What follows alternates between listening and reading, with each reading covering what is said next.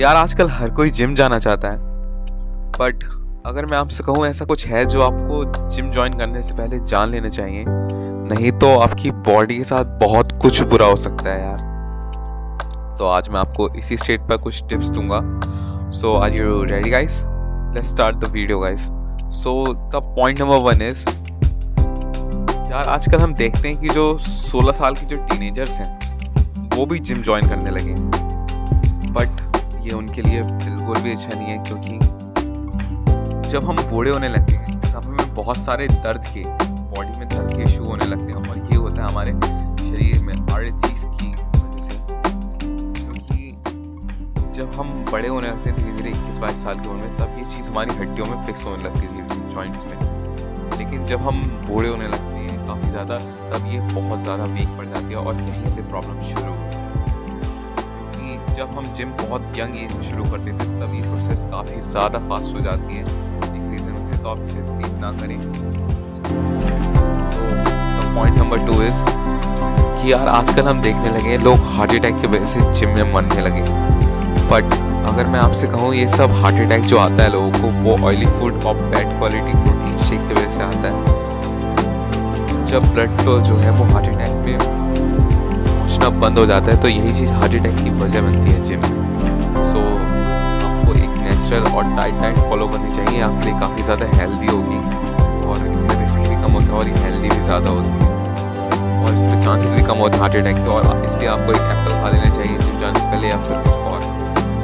But gym मत चाहिए कुछ भी खाने के बाद अगर वो आपको सूट नहीं करता। आपको अपनी बॉडी को रेस्ट देना भी काफ़ी ज़रूरी है। ये आप हफ़्ते एक बार या फिर चार दिन में एक बार ज़रूर करें, ठीक है?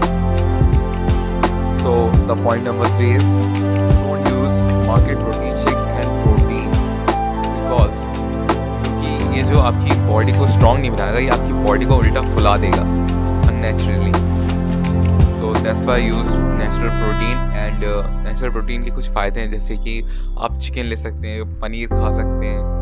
और भी बहुत सारे नेचुरल प्रोटीन हैं, जैसे आप दूध ले सकते हैं। दूध में आप रात को खजूर डाल के खाएँ तो भी वो आपकी बॉडी के लिए काफ़ी ज़्यादा अच्छा होगा और it will naturally give you a strength तो आज मैं आपको एक बहुत ही ज़्यादा नए ज़माने की डाइटिंग के बारे में बताने जा रहा हूँ, जो कि आजकल काफ़ी ज़्यादा ट्रेंडी है। तो आप इसे बहुत ही आराम से फॉलो कर सकते हैं। सोलह घंटे में इसमें हम फास्ट करते हैं। एक्चुअली इसके पीछे एक कॉन्सेप्ट है, जो कि मैं आपको अब बता रहा हूँ। एक्चुअली जो फल, सब्ज़ी और दूध वगैरह होते हैं, इन्हें हमें पचाने में लगते हैं आठ घंटे। और जो ग्रेन्स होते हैं, जैसे कि चावल, रोटी वगैरह वगैरह, इन्हें हमें पचाने में लगते हैं सोलह घंटे। अब आप सोच सकते हैं, अगर हम दिन में दो बार खाते हैं तो हमें छत्तीस घंटे चाहिए अपना फ़ूड पचाने के लिए। लेकिन हमारे पास दिन में होते साली चौबीस घंटे, और हम, हमारी बॉडी उतना नहीं बचा पाती है। तो इसलिए होता ही है, हम खाली इस कॉन्सेप्ट में एक ही बार फ़ूड खाते हैं पूरे दिन में। ग्रेन्स बस एक ही बार खाते हैं, या फिर आप नॉर्मल डाइट कर सकते हैं, हल्की फुल्की।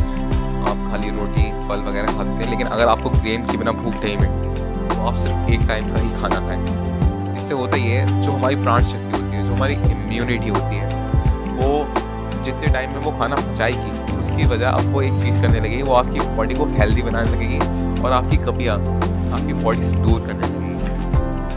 तो ये चीज़ बहुत इंपॉर्टेंट है। आप ये इस चीज़ का याद रखें कि आप अगर ये सोलह घंटे वाली डाइटिंग कर रहे हैं तो आपको सोलह घंटे भूखा रहना है और दिन में सिर्फ़ एक टाइम खाना खाना एक्सरसाइज आप कर सकते हैं। इससे आपकी बॉडी बहुत ज़्यादा स्ट्रॉन्ग होगी आप नेचुरली मेंटली आपकी हाइट बढ़ सकती है। इससे काफ़ी अच्छी सो वीडियो को एड करने का टाइम आ गया। Thanks for watching